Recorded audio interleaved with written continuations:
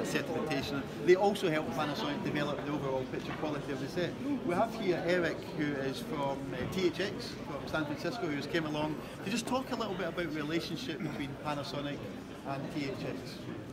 Okay. So I'm the director of imaging technology for our company. So we're probably most well known for audio things and cinemas, but we've been doing uh, televisions and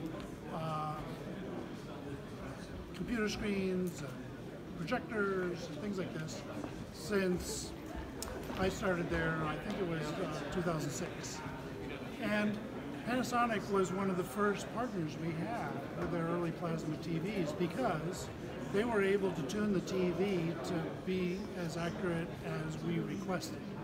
The te technical specification is derived from an international standard that the people in Hollywood use and we subscribe to, and that's what THX mode is about. It's about purity, really, so that you get a picture that is un unaltered from its original source. So even though the HCX processor has features that we don't use, like um, noise reduction and uh, image processing features, it does a really wonderful job with color. So we can ask them to have a very small delta in, in other words, the error in the signals of all the colors and the color of white and this chip and this TV can do it. So the idea is that the consumer then has a simple solution. They pick the THX mode and they have the closest out-of-the-box experience to what was done in Hollywood.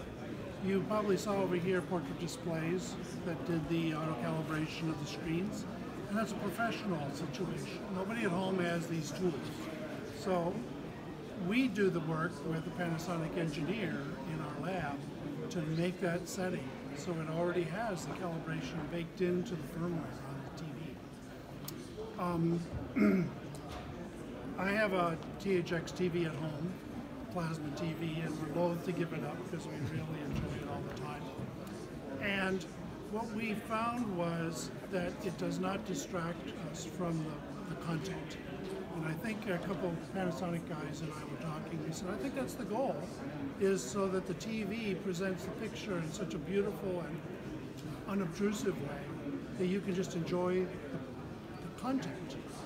So um, that's been my goal. After we tune all these things, we run a lot of pictures through the set to see that the images look correct and that there aren't any problems with the mixed colors. There's no contouring going on in the skies. And uh, the shadows are not just black, but there's actual detail in there. And I think for all these many years, we've been uh, achieving the goal, which is to make the TV look as close as to the Hollywood presentation they have on it. If you've been downstairs, you saw that colorist. And he's not kidding. A lot of people use these OLED TVs in the suites because they're really accurate. So, um, we're pleased to work with Panasonic, and I am personally because they do strive to do the best in the kind of in the technical, what's technically possible. You're not allowed to say which ones of these might be going through the process at the moment. Yeah, all they've all done, they're all done. No, they have, they have a THX sticker on that. Uh, I think it's So that's 1015 and 2000. So only the 950. Well, not according to the box. Now, I haven't got the list. Okay, no, that's cool. But they're probably correct. And that's kind of a decision that the marketing group makes as to what TVs are. Uh, they want to have the most features on and things like that. I wouldn't say that there's necessarily a, uh, a performance difference. We'll do this next month. So their uh, uh, prototypes will be coming out to us, and then we run through the testing, and then it's all set summertime March. June, July. Mm-hmm. Yeah, it says it.